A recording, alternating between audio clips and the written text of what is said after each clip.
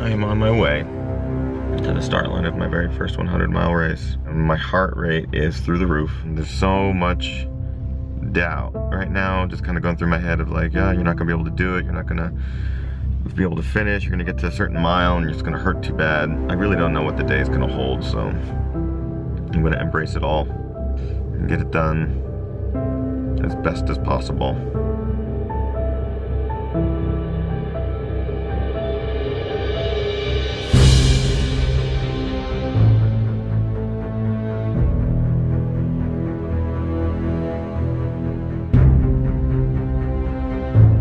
It is a tough course. A lot of people chose this as their first 100 miler. So it is a tough one.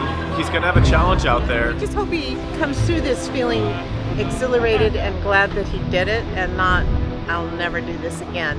But I wouldn't mind it if he never did it again.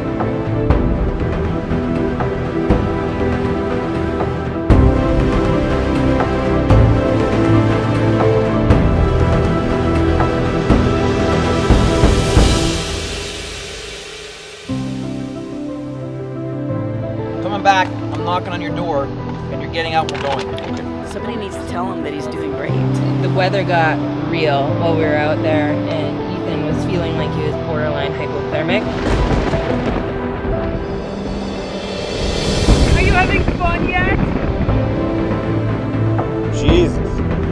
You alright?